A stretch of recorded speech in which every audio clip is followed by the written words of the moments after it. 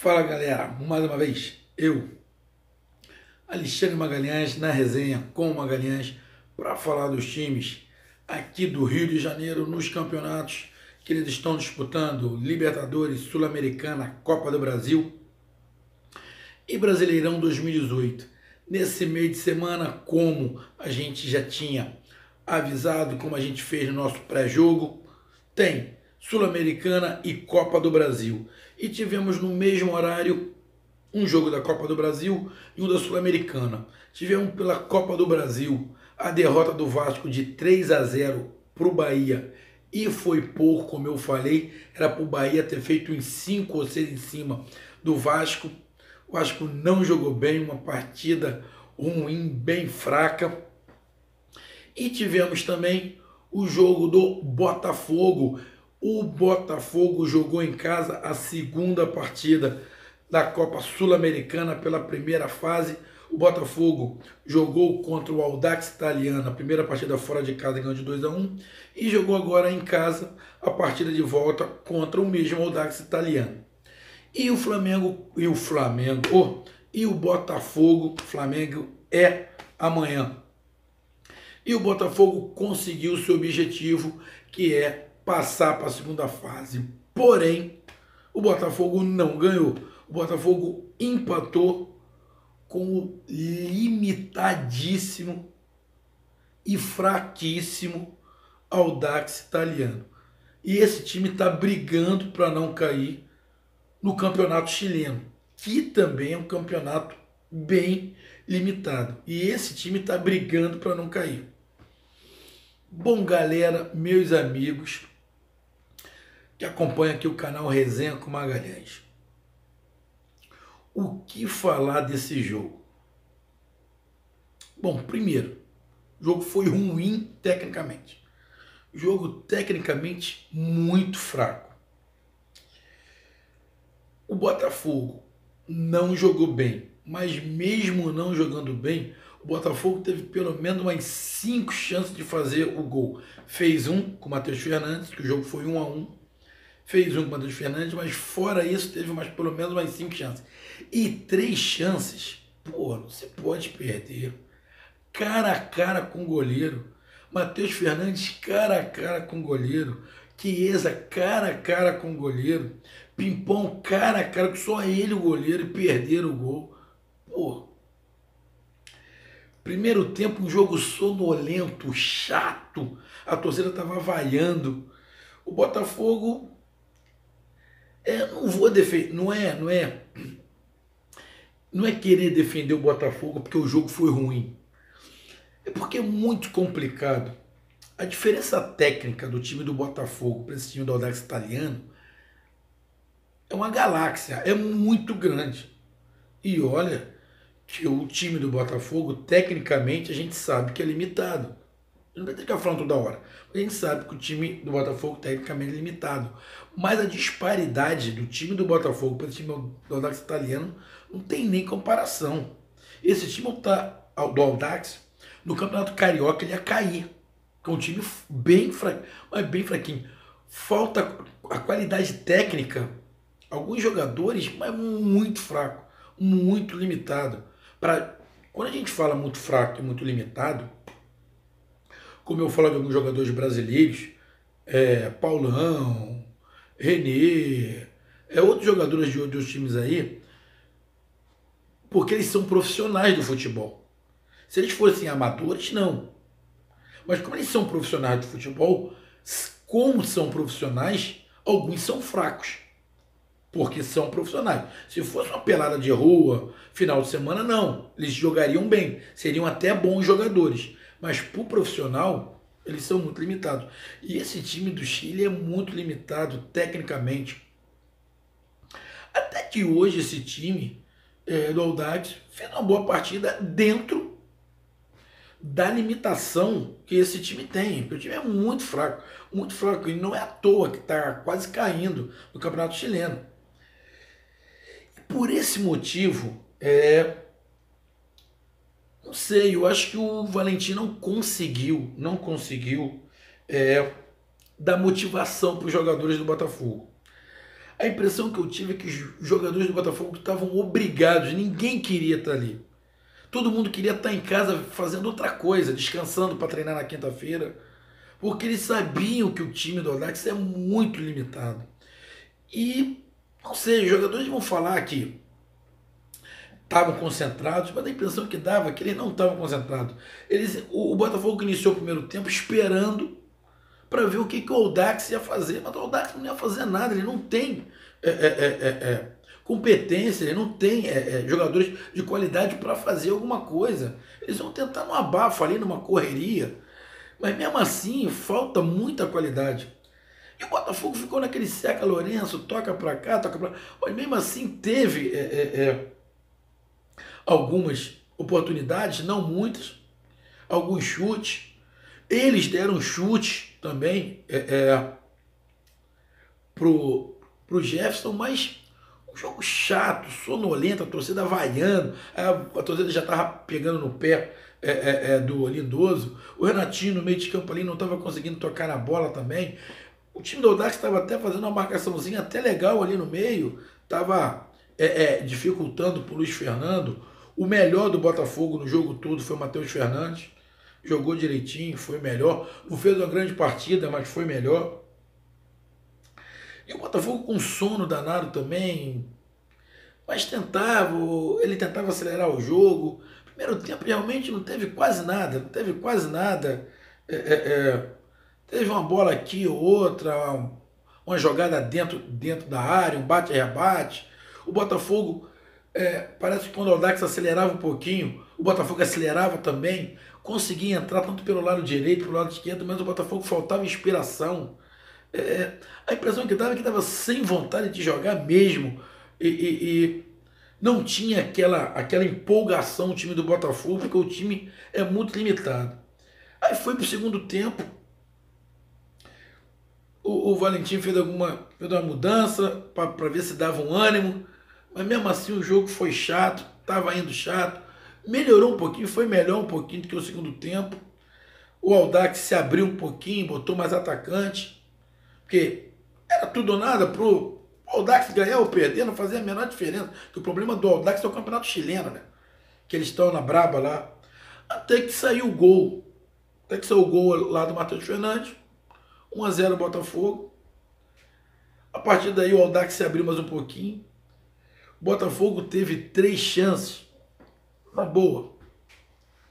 Pode se perder. Um jogador profissional que treina a semana inteira. Pode perder um gol daquele. É por isso que eu falo que eles entraram completamente sem vontade. Entraram completamente desconcentrados. As três bolas com Pimpão, com Fernandes e com Chiesa, eles entraram cara a cara, só ele e o goleiro. Só ele, não tinha mais ninguém. Pô, eles perderam o gol. Cara. Mesmo o Botafogo com a má vontade danada, o Botafogo podia ter goleado esse time, que o time é muito fraco. E o Botafogo perdeu esses gols. O time do Aldax também perdeu um gol incrível que vai lá pro para aquele para aquele canal lá do, do, do, que tem na Globo lá, que, que tem a camiseta, é, que ele perdeu um gol é, é, é, embaixo do gol, a bola bateu na perna do jogador do Aldax e subiu. O jogador é atacante, o Aldax foi para cima, jogou na bola dentro da área, a bola bateu no perna na canela do jogador, encobriu o goleiro sem goleiro, sem nada, encobriu a trave e perdeu o gol. E depois disso, o Aldax fez um gol meio esquisito, chutou de fora da área, não sei se bateu alguém, se não bateu, se desviou. O, o Jeff estava pulando para um lado, caiu todo, todo torto, a bola entrou no meio do gol. E o Aldax fez o gol. E por incrível que pareça, o Aldax deu um sufoco no final do jogo. O Aldax podia ter feito 2 a 1 um e ter levado para os pênaltis. Ia ser vergonhoso para o Botafogo. Ia ser vergonhoso para o Botafogo se o Audax ganha do Botafogo aqui. Já foi vergonhoso o Botafogo empatar com esse time em casa. O Aldax partiu para dentro, foi para cima, chutou bola de fora de área, cruzou bola dentro da área. O goleiro foi duas vezes para a área para tentar é, é, é, é, cabeçada. Poderia ter até feito o gol. O Botafogo teve chance de golear. Primeiro tempo teve cabeçada do Carly. Segundo tempo teve essas três chances. É, é, o Aldax teve até a chance clara que eu falei do que o, que o goleiro perdeu, que o, que o atacante perdeu o gol debaixo do gol sem goleiro. Poderia ter feito um gol, depois ter feito outro, poderia ter feito 2 a 1 um, mas o Botafogo poderia ter feito uns 4 ou 5, só fez um. Mas nitidamente foi um jogo na qual o Botafogo.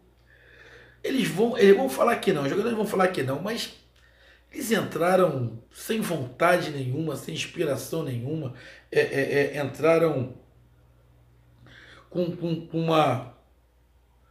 sei lá, sem, sem sem pilha, sei lá, esperando o que o Aldax ia fazer. Se o Botafogo hoje jogasse com um time com mais qualidade, o Botafogo teria se sido eliminado. Se o Botafogo pega um time com mais qualidade, o Botafogo tinha sido eliminado. Porém, é lógico, se o time do Botafogo pegasse um time com mais qualidade, provavelmente o Botafogo ia entrar mais concentrado, ia entrar mais ligadão no jogo. Porque realmente, para quem joga bola, todos vocês que acompanham o canal, que jogam bola, tem bola no final de semana, já disputou torneio, é, é, é, sabe que quando você vai jogar contra um time bom, ou relativ, relativamente bom, tu entra pilhado para não dar mole, para não perder a bola. Mas quando tu joga contra um time que tu sabe que é fraco, pô, bate desânimo bate desânimo, bate. Tu entra, tu vai para jogar, mas por mais que, que o treinador faça uma preleção lá, ó, vamos entrar pilhado, a gente sabe que o time não é isso tudo, por mais que de repente o Valentim falou, ó, o time deles é assim, os jogadores sabiam que o time é fraco. E nitidamente, jogadores, na boa, jogadores podem falar o que quiser, mas eles entraram completamente desconcentrados, entraram com a certeza que iam fazer um gol a, qualquer hora, a hora que ele apertasse já saiu o gol. É, é, é, só que não foi assim, e ainda acabaram tomando sufoco. Na boa, só pelo fato do Botafogo ter empatado com esse Audax italiano e ter tomado sufoco no final, para mim já é vergonha. Já é vergonha. Porque a diferença técnica do, do, do time do Botafogo para esse time chileno é o universo. É o universo. Mas o Botafogo tem que aprender. O Botafogo tem que aprender já foi eliminado na primeira fase da Copa do Brasil. Fez um jogo apático hoje, um jogo chato. No segundo tempo foi até um pouquinho melhor. Pô, mas perdeu três gols que não se pode perder. A gente sabe. A gente sabe. O Pimpão não tem toda essa categoria. Ele tentou jogar uma bolinha por cima, ele não tem toda essa categoria, mas ele já fez gols bonitos. O Chiesa também não é esse primor. Pô, mas já fez bastante gol, é um centroavante. O Matheus Fernandes fez o gol, tem uma qualidade melhor do que os dois. Mas não pode perder os gols que eles perderam. Não pode desperdiçar chance assim. Se é melhor, ganha, se impõe. Se tiver que golear, goleia. Dá a goleada para pegar moral. Aí o Botafogo faz um jogo chato, um jogo feio, tomou sufoco no final do jogo para um time fraco. Aí vai jogar o Campeonato Brasileiro no final de semana. Como é que vai a cabeça dos jogadores? É lógico que vai mudar, que a gente vai falar. Eles vão falar, ele deve estar falando internamente, pô, maluco, a gente deu mole, né, cara? Pô, a gente sabia que o time era fraco, mas, pô, a gente tinha que tentado pilhar, a gente podia, podia ter perdido a vaga. Eu acho que nem nos pênaltis ia perder a vaga, porque é, é, é acho que nos pênaltis, se fosse, o Botafogo ganhava. Mas seria vergonhoso ir nos pênaltis para esse time. É, é, não desmerecendo ninguém, nem nenhum jogador, mas o time é limitado. O Botafogo é muito melhor. Muito melhor. Então, meus amigos botafoguenses que acompanham o canal Resenha com Magalhães, essa foi a minha análise do Botafogo. Ah, e um detalhe: o Botafogo não jogou da mesma maneira que vem jogando sempre. O Botafogo não usou muito os laterais hoje. Estranhamente. Estranhamente o Botafogo não usou muitos laterais e não jogou bem. Pode ter sido esse motivo? Pode, não acredito. É, é, o motivo foi mal, foi mais falta de empolgação, falta de vontade, falta de concentração. Porque realmente, não estou defendendo, não, é defesa do Botafogo, porque ele jogou mal. Mas é complicado você jogar contra um time fraco. É complicado. É complicado você já ter feito o resultado fora de casa, ter ganho na casa dele, e você vem jogar em casa com um time fraco. É para você manter a concentração, não é muito fácil. Não é, não é. Mas eles são profissionais, eles tinham que manter a concentração, mas a gente sabe que não é. Então o jogo não foi bom, foi um bom chato. Na verdade, essa quarta-feira não foi boa para os cariocas. Vasco perdeu, mas foi a primeira partida. Segunda partida do Vasco é só depois da Copa. Tem como virar, porque só perdeu de 3 a 0, que poderia ter perdido de muito mais. E o Botafogo conseguiu o que queria, que era passar para a segunda fase. Agora, na segunda fase, o Botafogo tem que jogar mais. A gente não sabe quem o Botafogo vai pegar, mas vai entrar os times que estavam na Libertadores. Os times que não se classificarem para as oitavas de final vão entrar. Então são times que vão ter um pouquinho mais de qualidade. E se o Botafogo jogar assim, aí não passa da segunda fase. Não passa. E a gente sabe que hoje é um caso à parte porque o time é fraco. Mas o Botafogo tem que entrar concentrado em qualquer jogo. E isso foi um erro. Isso foi um erro. Porque o Botafogo, pode falar, mas não entrou concentrado. E se não entrar concentrado com um time mais forte, vai passar vergonha, vai passar perrengue e vai ser desclassificado de novo, igual foi na Copa do Brasil. Então, galera, essa foi minha análise do jogo do Botafogo. Não foi um bom jogo. O Botafogo não jogou bem, entrou desconcentrado. O time do Audax é fraco, mas até fez uma partida boa dentro da, das limitações dele. Deu sufoco no final, poderia ter feito segundo. Botafogo perdeu três gols que não se pode perder. Uns dois encabeçada lá em jogada que poderia ter feito também, mas três foi escrachado, o jogador não pode perder.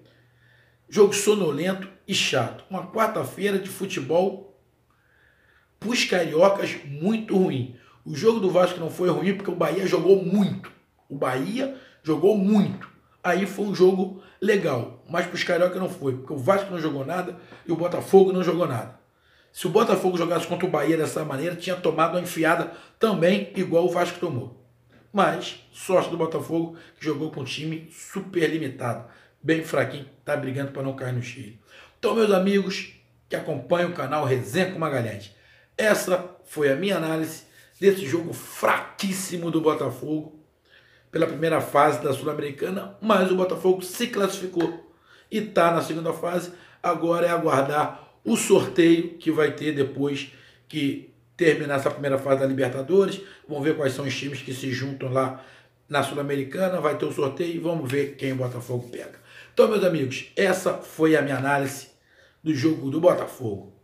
Amanhã tem resenha depois do jogo do Fluminense e Flamengo, que amanhã tem Flamengo pela Copa do Brasil e Fluminense pela Sul-Americana. Tomara que os times cariocas não joguem igual os cariocas de hoje. Tomara que Flamengo e Fluminense façam uma partida melhor do que Botafogo e Vasco, porque senão vai ser doloroso.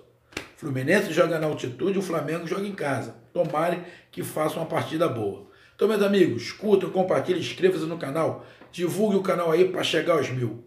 Um grande abraço, até mais, ó, coraçãozinho, um abraço, fui, tchau, valeu!